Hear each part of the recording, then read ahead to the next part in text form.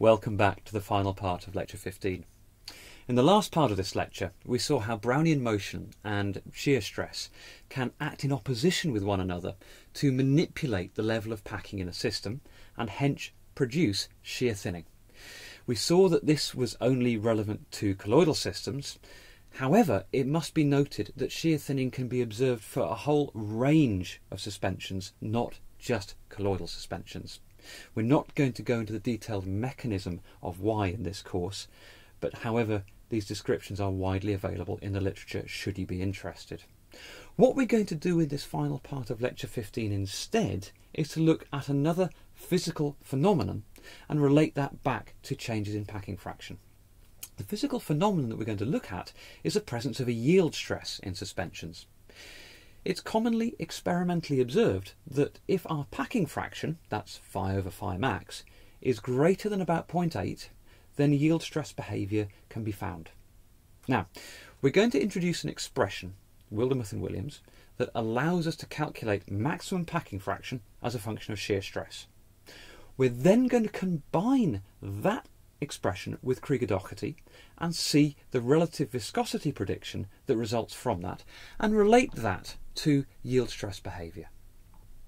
So, here on the board is a graph that plots out relative viscosity as a function of particle volume fraction for Krieger-Dougherty. The Krieger-Dougherty expression is there on the board as well as a reminder. And remember what we saw was that as we approach the maximum volume fraction of particles, phi max, the relative viscosity starts to asymptote off to infinity. The curve that I've put on the board is for spheres, so phi max in this case is for hexagonal close packing, phi max is 0.74, and the intrinsic viscosity is 2.5. Remember how we can get that from the Brownian hard spheres result. Now, the region of interest for yield stress is now highlighted. So the gap between those two horizontal lines is where phi over phi max is greater than 0.8. And we can see that this captures that asymptotic behaviour to relative viscosity going to infinity. So, let's remind ourselves of a mechanism. We said that shear can order particles. No matter what diameter those particles are, there will be an ordering effect. And we can go from, say, random close packing to hexagonal close packing. The expression that is now on the board, Wildemuth and Williams, allows us to calculate phi max as a function of shear stress. It effectively assumes that you could transition from one packing fraction, in this case 0.64, random close packing, to another packing fraction, hexagonal close packing 0.74, and that transition is controlled by the amount of stress applied to a system. And we can see that in the expression there on the board on the right hand side, we have our two maximum packing fractions limit. Phi max at tau naught is random close packing. Phi max at tau infinity in this case is hexagonal close packing. So those are our two packing fraction limits. And we can see that on the far right hand side of this expression, there's a 1 over 1 plus a tau to the minus b term. Tau is a stress applied to the system. A and B are parameters that allow the tuning of the model to experimental data.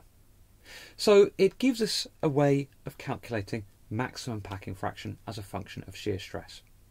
So let's have a look at a plot. Here on the board are two y-axes and an x-axis. The primary y-axis is our relative viscosity. Our secondary y-axis is our maximum packing fraction. Both of these parameters are going to be plotted as a function of shear stress.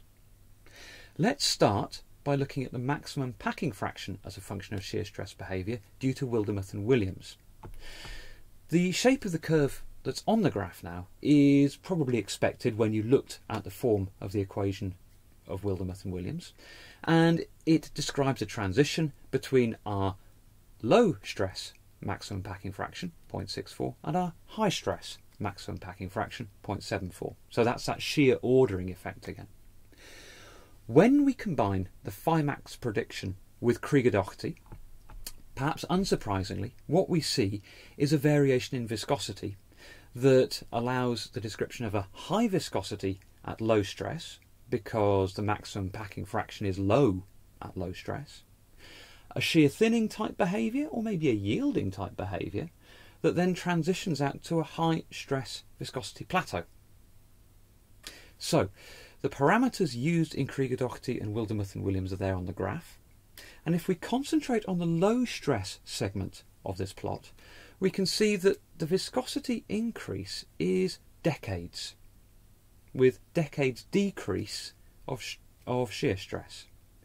And if we think that solids are basically fluid systems with a high viscosity, or at least could be modelled that way, what we have here perhaps is a description of a yield stress. Now, we can sharpen these curves or flatten these curves depending on our choice of parameters A and B, but if we wish to capture in a model, a nice easy model, yield behaviour, this is one way in which it can be done. So, a few key points. It's commonly experimentally observed that suspensions have the presence of a yield stress when the packing fraction, the ratio between phi and phi max, is greater than about 0.8.